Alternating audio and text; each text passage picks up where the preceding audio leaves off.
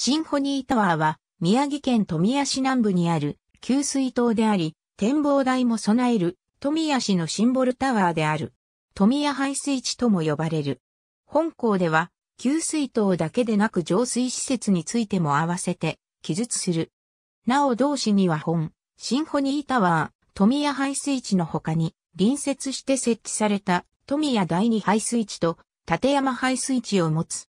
水道水は浄水済みのものを宮城県企業局より購入し、排水地を経由して市内に排水している。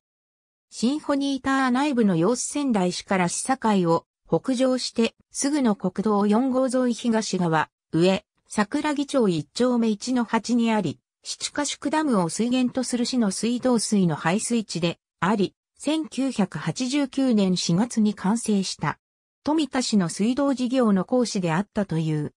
この排水地の建設は、シンボルタワー富谷排水地事業という名称で、ふるさと創生1億円事業の一つとして行われている。総事業費は4億8100万円だった。8月1日頃には展望台として一般開放されることもある施設である。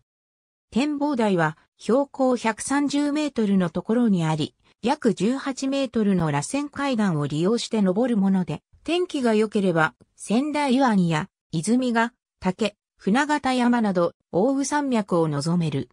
また、仙台市の高層ビル群も見ることができるという。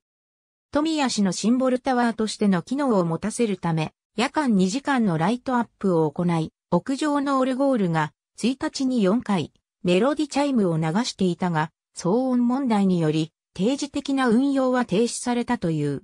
だが2012年4月には1日3回の形での運用が再開された。なおこの放送施設はもともと防災無線のために設置されたという経緯がある。なお、同市、大亀山森林公園の展望台もシンボルタワーとされている。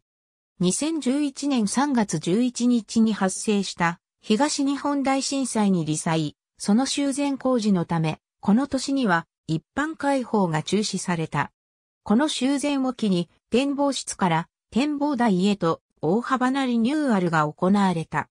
2016年、富谷町が富谷市に市政移行するにあたり、記念切手が発売されているが、その10種のデザインのうちの一つに選ばれている建築物である。同年の仙台放送の番組でも取り上げられた。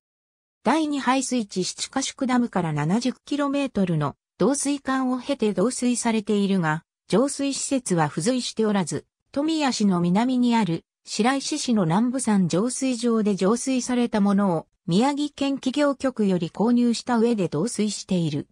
貯水機能は8000トン。すぐ横には、漆沢ダムから取水、導水した6000トンを貯水可能な第二排水地が併設されている。この二つの排水地は連絡され、必要であれば相互に水を融通し合える構造である。1日平均浄水量は7322立方メートル。高度は20程度である。ポンプを用いた排水ではなく、重力による自然流下による排水がなされている。排水地区は、第一が、熊谷、国田、明野平の一部、富家急、高野森、日吉台、明石台、成田の各地区。第二が、土地の木、明野平の一部、森の橋、上桜木、大清水、となっている。2011年には3月11日に発生した東日本大震災により破損してしまい、七ヶ宿ダムからの取水管も破断。その他にも各所で漏水が発生しこのため一時排水機能を停止する。第一排水地は復旧に最も時間を要したが、3月28日、正午に機能を回復、夕刻には排水を再開した。